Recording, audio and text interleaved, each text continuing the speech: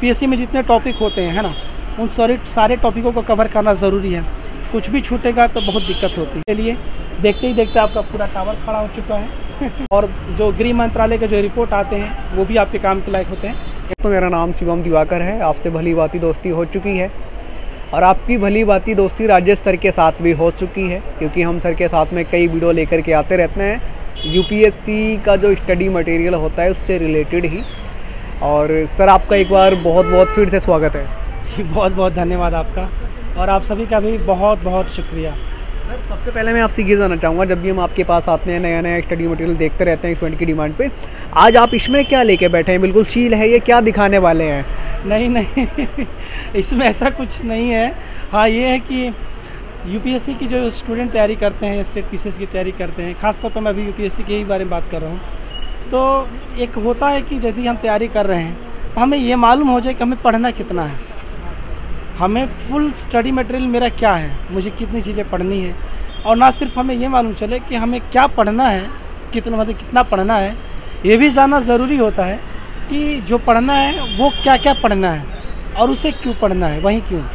तो ये सारी चीज़ें इस लिहाज से इसमें डाली गई हैं। और ये दरअसल एक पैकेट है आ, हमने इसलिए इसको पैकेट के सहित ही रखवा दिया कि जो लड़के दूर दराज के हैं वो समझ पाएँ कि उनका पार्सल यदि जाता है तो वो कैसे जाता है किस रूप में जाता है? तो ऐसे एक पेटी होती है बड़े पार्सल के लिए पेटी होती है छोटे पार्सल को तो आ, पैकेट में लपेट दिया जाता है।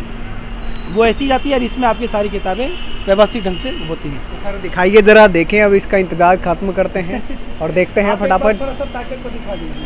इस तरीके से आप एकदम बढ़िया तरीके से भेजते हैं। यहाँ पे एक आपका कार्ड लगा रहता है।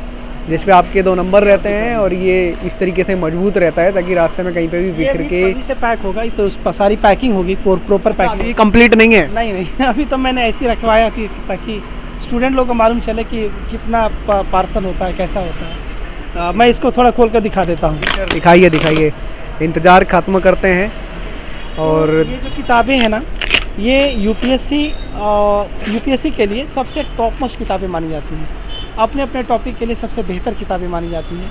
देखिए सवाल इस बात लड़के जो तैयारी करते हैं उन्हें दिक्कत सबसे ज़्यादा इस बात को लेकर होती है कि हम किताबें कौन कौन सी पढ़ें जिससे हमारा सिलेक्शन सुनिश्चित हो सके। एक बार, बाबू इन इसमें दिखा दीजिए। शुरुआत में तैयारी शुरू करते हैं तब? हाँ वो सब सबसे बड़ा डाउट यही होता है कि कौन कौन सी किताबें लेके पढ़नी है क्या पढ़ना है कौन सी चीज़ें मेरे लिए अच्छी रहेंगी। तो वो सभी चीज़ें हम लोग इसमें देते हैं। तो आ, देखिए, जैसे तैयारी में सबसे जो ज़रूरी चीज़ होती है ना, पहले तो हमें सिलेबस हमारे पास होना चाहिए, एक माइक्रो टॉपिक में। सिलेबस दो तरह का होता है, एक नॉर्मल होता है, मैं नॉर्मल वाला भी दिखा देता हूँ, मैं बाहर से दिखा देता हूँ, मैं यशवंत एक बार बाबू वो सिलेबस देना दृष्टि वाला और एक जी एस स्कोर का माइक्रो सिलेबस देना मुझे। हाँ लाओ लाओ, कोई बात नहीं, ले आओ, दो। तो जैसे ये सिलेबस हो गया हमारा, है ना? तो सिलेबस सबसे ज़रूरी चीज़ होता है। पहला पड़ाव हमारा सिलेबस ही होता है। आप एक चीज़ हमेशा ध्यान में रखें जब भी आप तैयारी स्टार्ट कर रहे हैं ना, सबसे पहले थोड़ा सा दो तीन दिन खुद को समय दें। ये समझने के लिए कि मुझे पढ़ना क्या है, यानी सिलेबस क्या है मेरा, सिलेबस क्या कहता है, वो मैं उस, वो मेरे से डिमांड क्या करता है क्या क्या चीज़ें पढ़नी होती हैं। तो वो जानने के लिए ये चीज़ों की ज़रूरत पड़ेगी। देखिए, जैसे ये हो गया नॉर्मल सिलेबस इसमें नॉर्मली चीज़ें जैसे आपके नोटिफिकेशन में होती हैं, उस तरह से इसमें व्यवस्थित ढंग से दी गई होती है ऑप्शनल सही, है ना? और ये होता है माइक्रो टॉपिक सिलेबस इसमें क्या होता है कि टॉपिक के अंदर में कौन कौन से टॉपिक के हैं, वो जैसे इस ढंग में होता है है ना? जैसे मान लीजिए कि ये शैलें हो गई, है ना? तो शैलों में कौन कौन सी चीज़ें आपको पढ़ना है? ये सारी चीज़ें इसमें दे रखी हैं। भूकंप है तो भूकंप में कौन कौन से टॉपिक के अंदर में चीज़ें पढ़नी है? जैसे मान लीजिए कि ये होगी समकालीन मुद्दे हो गए, है ना? एक टॉपिक हो गया। इसके अंदर में छोटे छोटे कौन कौन से टॉपिक हो सकते हैं? अनुसूचित जाति और जनजाति क्षेत्र हो गए। इनमें कौन कौन सी टॉपिक हो? सकते हैं आप अपना टिक लगाते जाइए, पढ़ते जाइए। तो ये हो गया माइक्रो टॉपिक इसलिए मैं बात करता हूँ, कि सिलेबस एक नॉर्मल और एक माइक्रो आपके पास होना चाहिए। इसके बाद जो सबसे ज़रूरी चीज़ होती है, वो होती है सिलेबस में आपने ये पता कर लिया कि हमें पढ़ना क्या है। क्या क्या चीज़ें पढ़नी है। लेकिन उसे कैसे पढ़ना है? किसको ज़्यादा, किसको कम, किस तरह से पढ़ना है, इसे जानने के लिए आपके पास पीवाईक्यू होना अति आवश्यक होता है। पीवाईक्यू में प्रीलिम्स के लिए या तो आप ये लेके पढ़ें, या तो मोनाल सर की दिशा आती है, उसको लेके पढ़ें। प्रीलिम्स के लिए और मेंस के लिए आपको दृष्टि की पी आती है, ये रही।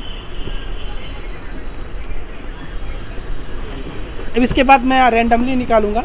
ये ज़रूरी चीज़ होती है, इसलिए मैं आपको पहले ये दिखा रहा हूँ। तो पी वाई क्यू आपका ये ज़रूरी होता है। पी वाई क्यू के लिए मेंस के लिए दृष्टि का लेकर पढ़िए।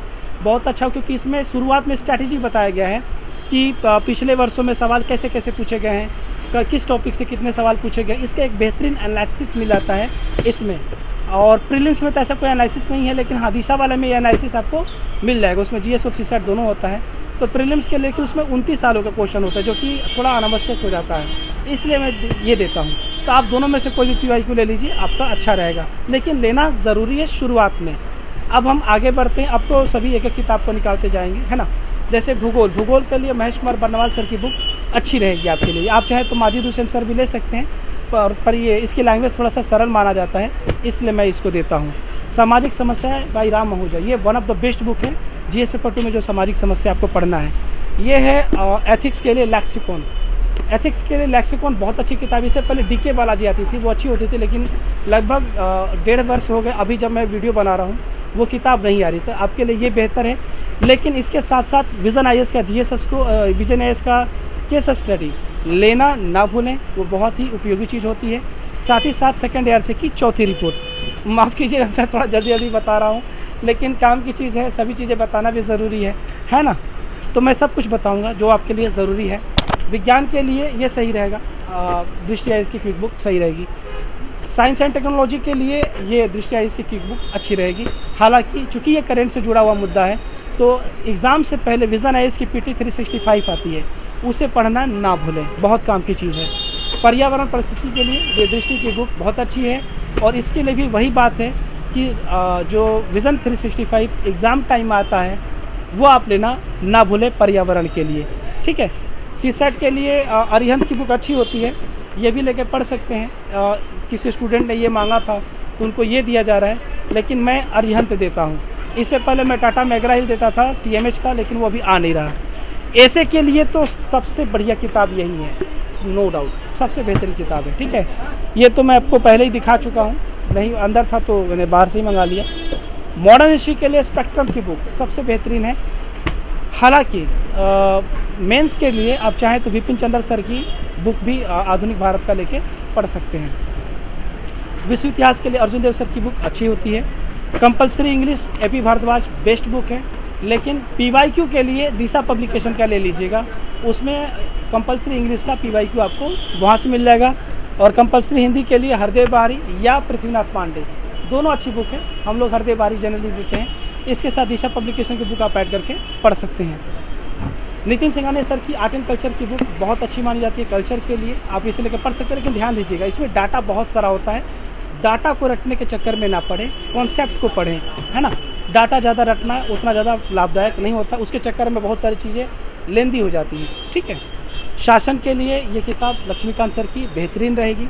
इसमें सेकेंड ईयर की चौथी रिपोर्ट जो कि मैंने आपको बताया था शुरुआत में एथिक्स के टाइम पे, वो ऐड करके पढ़िएगा, क्योंकि एथिक्स एंड गवर्नेंस एक टॉपिक है, वो काम में आएगा। आईआर के लिए ये काफ़ी है, लेकिन P T three sixty five exam time में विजन आई एस में ये थोड़ा सा ध्यान देने की चीज़ है। इकोनॉमिक के लिए रमेश सिंह एकदम कंप्लीट बुक है। हालाँकि P T three sixty five इसमें ऐड करना होगा और जिस वर्ष एग्ज़ाम देंगे, उस वर्ष का इकोनॉमिक सर्वे और बजट भी काम में आता है, क्योंकि दो सवाल, तीन सवाल निश्चित तौर पे वहाँ से होते हैं। इसके अलावा गवर्नमेंट स्कीम, जो गवर्नमेंट स्कीम आती है विज़न 365 में, वैसे विजन 365 का पूरा सेट लेके पढ़ना अच्छा विकल्प होता है, क्योंकि उसमें सब कुछ मिल जाएगा, छूटने का डर नहीं रहेगा। तो आप पूरा सेट लेके पढ़ें और उसमें गवर्नमेंट स्कीम आपको मिल जाएगा। लक्ष्मीकांत सर की पॉलिटी की बुक काफ़ी होती है पॉलिटी को कवर करने के लिए, हालाँकि मेंस के लिए कुछ जैसे दृष्टि के नोट्स या विज़न के नोट्स लेके पढ़ लीजिएगा, लेकिन पूरा नहीं पढ़ना होता है। जो चीज़ इसमें कवर नहीं है, सिर्फ़ वो चीज़। मेंस के कुछ एक टॉपिक इसमें कवर नहीं हो पाते हैं, खास करके डिबेट वगैरह, है ना? तो वो चीज़ आपको लेके अलग से पढ़ना होगा। इंटरनल सिक्योरिटी के लिए ये लेके पढ़ें, और जो गृह मंत्रालय के जो रिपोर्ट आते हैं, वो भी आपके काम के लायक होते हैं। इंटरनल सिक्योरिटी में उसको आप ऐड करके पढ़ सकते हैं। सतीश चंद्र सर की ये बुक बढ़िया है। आपके मेडाइवल हिस्ट्री के लिए देखते ही देखते आपका पूरा टावर खड़ा हो चुका है। सर ने पूरा एक टावर बना दिया बुक्स वाला। उस साइड अभी भी कुछ बुक्स बाकी हैं। ये आर एस शर्मा है एंसेंट हिस्ट्री के लिए। क्या करेंगे? दर दरअसल दिक्कत क्या है कि यूपीएससी में जितने टॉपिक होते हैं है ना उन सारे सारे टॉपिकों को कवर करना ज़रूरी है। कुछ भी छूटेगा तो बहुत दिक्कत होती है। तो ये जितने भी किताबें हैं ये ये सेपरेट सेपरेट टॉपिक के लिए। इसमें कोई भी टॉपिक रिपीट नहीं है। एटलस की बुक जो है ये आपके आ, हर जगह पे काम आता है। हिस्ट्री हो जोग्राफ़ी हो हिस्ट्री में खास करके मॉडर्न वगैरह या आईआर वगैरह हो जहाँ पे जियो पढ़ना है वहाँ पे भी यूज़ होता है। और ये मैपिंग के प्रैक्टिस के लिए या फिर यूँ कहें कि जोग्राफ़ी में जोग्राफ़ी की चीज़ों को अगर आप प्रैक्टिकली प्रैक्टिस करना चाहते हैं या मैपिंग की प्रैक्टिस करना चाहते हैं या जियो पढ़ना चाहते हैं आईआर पढ़ना चाहते हैं इन सभी जगहों पर इसका बेहतरीन यूज़ होता है। तो अब ये आपका बॉक्स खाली हो गया है। ये आपकी पूरी कंप्लीट बुक्स हो गई। इसमें आपके हिंदी मीडियम की टोटल सिलेबस की किताबें हैं। अगर आप जो छात्र नए हैं और शुरुआत करना चाहते हैं तैयारी के लिए तो उनके पूरे टॉपिक की एक बेहतरीन कवरेज होनी चाहिए।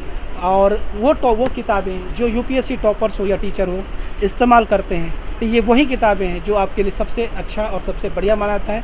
हालाँकि बेसिक से अगर स्टार्ट करना चाहते हैं तो आप एन e की बुक की भी आवश्यकता पढ़ सकती है। अगर आपने एन e पढ़ रखी है और अब स्टैंडर्ड से स्टार्ट करना चाहते हैं तो ये है आपकी वो स्टैंडर्ड बुक्स सर ये जैसे हिंदी मीडियम की हैं क्या आपके पास इंग्लिश मीडियम की भी सेम मिल जाती हैं? देखिए इंग्लिश मीडियम में कुछ एक किताबों में अंतर होता है। देखिए जो ये तो स्टैंडर्ड बुक्स हैं और ये टॉप मोस्ट किताबें हैं तो ज़ाहिर सी बात है इंग्लिश में भी ये लगभग अवेलेबल होती हैं। लेकिन इंग्लिश की किताबें कुछ जगहों पे चेंज होती हैं तो वो भी मिल जाएगी लेकिन उसकी लिस्ट थोड़ी सी इससे अलग रहेगी थोड़ी बहुत। बाकी चीज़ का सभी किताबें मोस्ट ऑफ़ किताबें सेम रहेंगी। लगभग कितने दिनों में आप डेली कुरियर करते हैं?